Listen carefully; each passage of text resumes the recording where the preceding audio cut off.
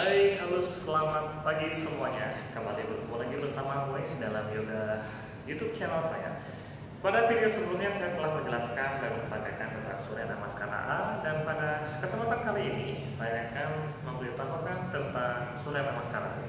Ya, bagaimanakah Surya B itu? Nanti akan saya lakukan ya. Jadi seperti penjelasan saya sebelumnya di Surya Namaskara A Surya Namaskara A dan Surya Namaskara B ini bisa Anda lakukan sebagai pemanasan ya baik untuk olahraga yoga itu sendiri maupun olahraga yang lainnya. Ya oke langsung saja kita mulai.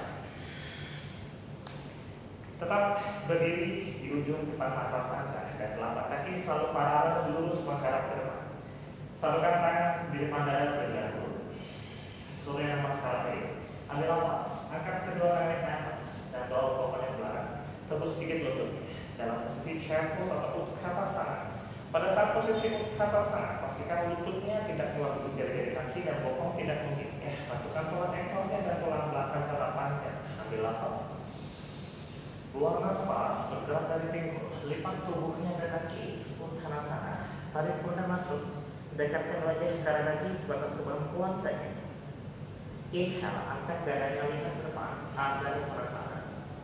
Exhale tekuk lututnya, tangan di lantai, boleh melompat melangkah ke belakang. Tekuk sikunya tusuk caturannya. Inhale, angkat dada ke atas abdom atau Urdhva Mukha Svanasana. Lutut dan paha tidak menempel pada lantai. Dorong pinggulnya lebih rendah, tekan lebih kuat tangan paling kepala dan angkat lagi dadanya lebih tinggi. Jauhkan bahu dari telinga, pandangan ke atas arah langit-langit atau ke arah mata ketiga. Ambil nafas lembut dalam Buang nafas kaki kiri, dorong bokongnya tinggi ke atas, adu muka suara sana ke downward facing dog. Dorong tumit kakinya ke arah lantai, angkat bokongnya lebih tinggi dan panjangkan terus tulang belakangnya ke arah depan. Inhale, kaki yang kanan melangkah ke depan di antara kedua tangan. Turunkan kaki kiri yang two lines ya, atau bikin dua garis yang berbeda pada kedua kakinya. Tekan kuat kakinya ke lantai, ambil nafas tegakkan tubuhnya ke atas. Luruskan kedua garis samping telinga Wira pada semalam. Jaga kedua pinggul dan bahu tetap menghadap ke depan. Tekuk lagi lutut kanannya 90 derajat. Luruskan lutut yang belakang dan panjangkan terus tulang belakangnya. Buka lagi jari-jari tangannya lebar. Lihat atas. Ambil nafas. Buang nafas. Turunkan tangannya di lantai. Jinjit kaki yang kiri. Kaki kanan yang belakang. Inhale tubuh ke depan. Exhale siku kerusuk satu langkah. Inhale luncurkan dari atas kurva muka atau upward facing dog. One more time inhale. And exhale, digigit. Dorong bokongnya ke atas, adu muka suara sampai downward facing dog. Kita lihat sisi yang kiri, ambil nafas kaki yang kiri ke depan. Turunkan kaki kanan to feet lines, tegakkan tubuhnya ke atas. Angkat kedua lengan ke samping telinga. Bila pada semua, ingat kedua pinggul dan bahu tetap harapkan ke depan. Tekuk lagi lutut yang kiri lebih rendah, lutut yang belakang tetap diluruskan, paha. Tekan lagi kuat kedua kakinya ke lantai dan dipanjangkan lagi badan ke atas sambil nafas.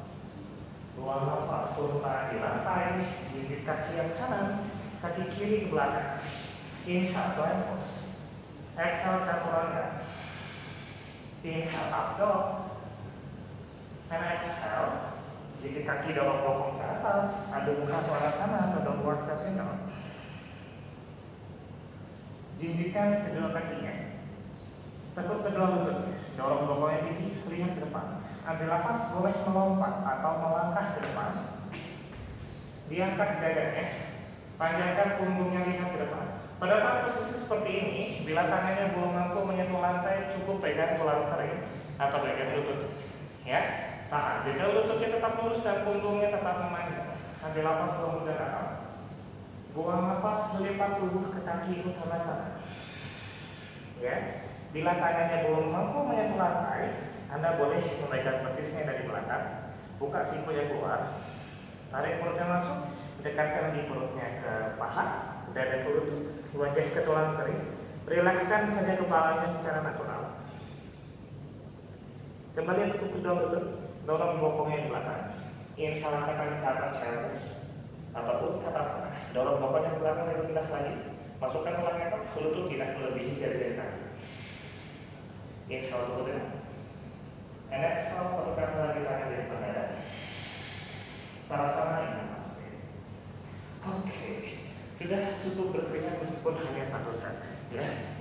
repetisinya Anda boleh melakukan sebatas Anda mampu dan nyaman saja. Anda boleh melakukan 2 sampai 3 kali atau bahkan 5 kali ya. Jadi itulah tadi surya Mas Karate. Anda bisa mencobanya ya. Anda boleh mencobanya di mana pun, boleh di rumah maupun di studio, studio yoga oke terima kasih dan sampai ketemu di video selanjutnya. Oke see you